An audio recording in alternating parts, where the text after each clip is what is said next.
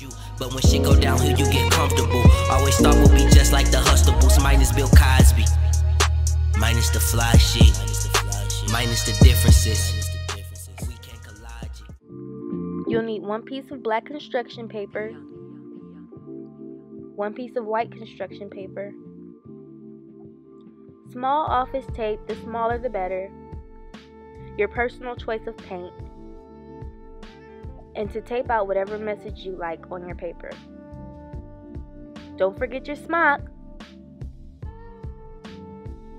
And make sure you protect your table or your floor or whatever you decide to do the project on. And of course, you'll need little hands or feet.